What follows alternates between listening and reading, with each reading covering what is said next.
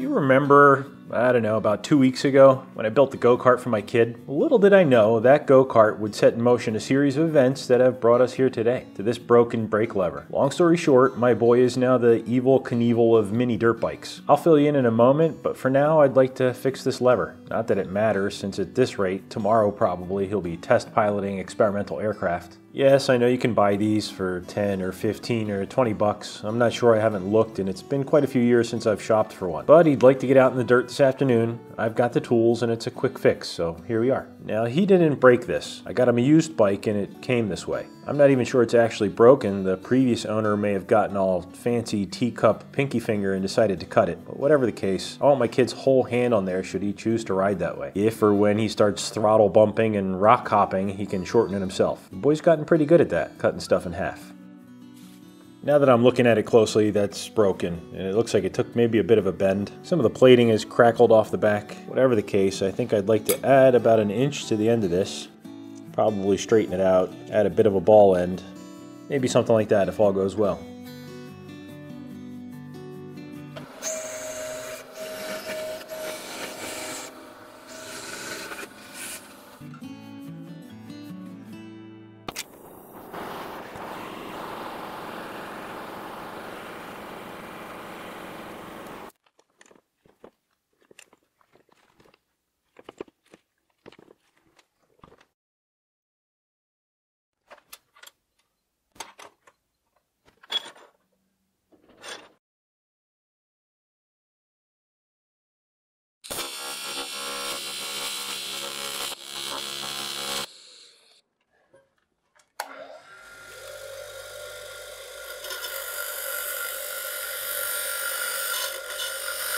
I'm sure you saw that. I fouled the electrode trying to get that tack in there around the clamps that were holding these parts in place, but I managed to get it. What I was trying to do is bridge that large gap, so now I have something I can weld down into. This weld and this extension will be ground just to get to the shape that I want. So the welds really have to be 100%. Anything superficial will end up just being ground off and the thing will fall apart again.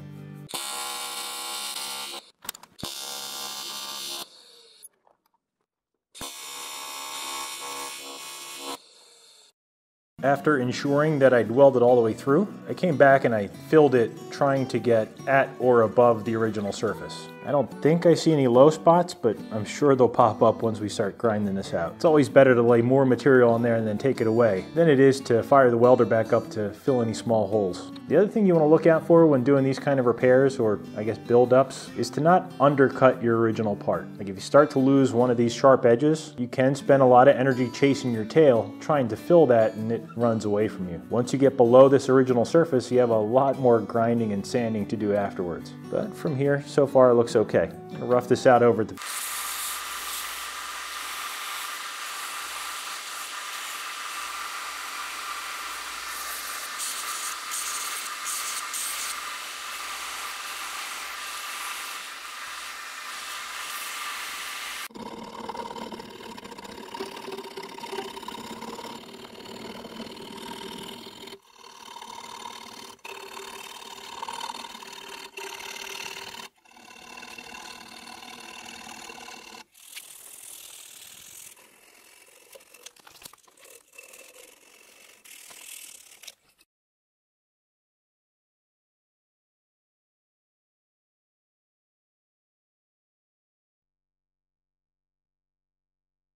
I think that's all the attention it's getting from me. The ball end there isn't perfect, but I don't think he should cut his hand on it. I did clip it just a little bit with the belt grinder across the flat of the two inch belt.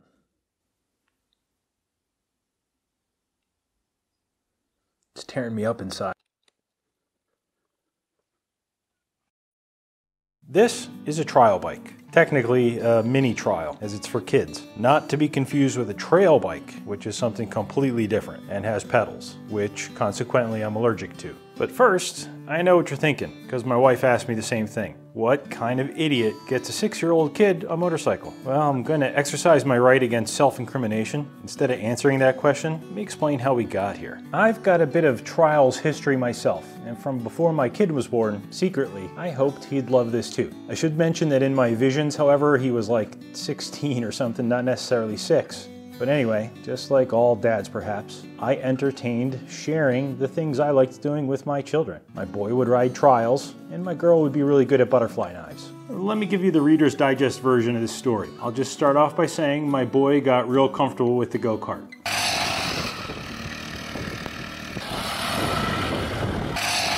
That sort of torture was not in the requirements document when I designed this thing. He started shearing the drive axle key, popping chains, bending sprockets, you name it. This cart was never meant to go backwards. So basically when he'd flip it 180, the engine is still going forward and his weight and momentum are going backwards. Conflicts like that usually resolve themselves rather quickly. Things break. This started to spend a lot of time on the bench. Around about that time, a friend of the family upped the ante and my boy got a taste of his first four-wheeler, ATVs, and he took to that surprisingly fast.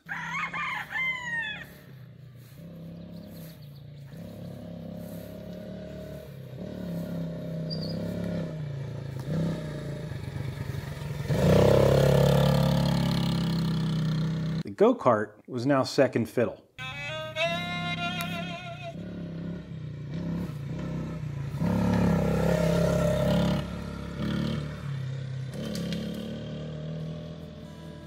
Now, he asked for one, for a four-wheeler, naturally, but we had to tell him he was too young, because, well, he was too young. Surprisingly, though, he never really asked again. I mean, anytime we'd happen across one, or by a dealership, he'd always ask to have a closer look, or sit on them, smile from ear to ear, but never throw a tantrum and insist he had one. That was the kind of psychological warfare I was not prepared for from a five-year-old. So this year, with the weather getting nice, I started to really think about his request.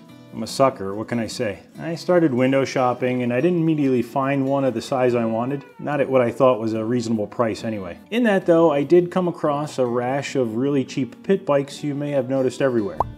Two to $300 dirt bikes for five-year-olds. I started doing more homework, was surprised to learn that in the hands of sub 10 year olds, two wheeled vehicles are statistically safer than their four wheeled counterparts. And that's when the lights came on. What are the odds they make trial bikes small enough for kids? Turns out they do.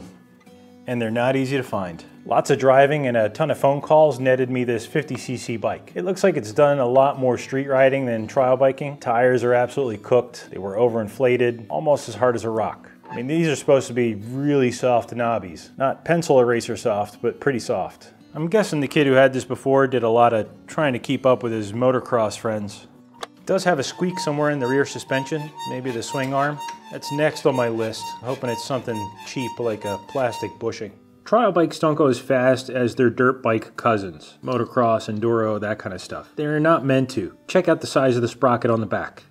That's like an 11 inch sprocket on a 14 inch tire. Again, they're meant to go very slowly. I mean, they can go fast, but they're meant for slow climbing to get up, over, around obstacles. Lots of low end power. In official trials, you can't put your foot down, or you get a point for every time you put your foot down. These things are basically the adult version of the floor is lava, and you're meant to ride these standing. There's no real seat to speak of, which in this case works out for me. Got a bike that's meant to go slow, with enough power for him to grow into if he likes it. He can ride this sitting down for now, and his feet still touch the ground. As of today, he's only been on this thing a total of maybe three hours tops. He picked it up after his first lesson and he's just now starting to ride standing. I'm telling you though, that first day was nerve wracking for me. I was completely resigned to one of those funniest home movies where he rockets himself off into the sticks. But he's exercising a lot more control than I expected. I realize this might be a bit of a letdown. I don't have a video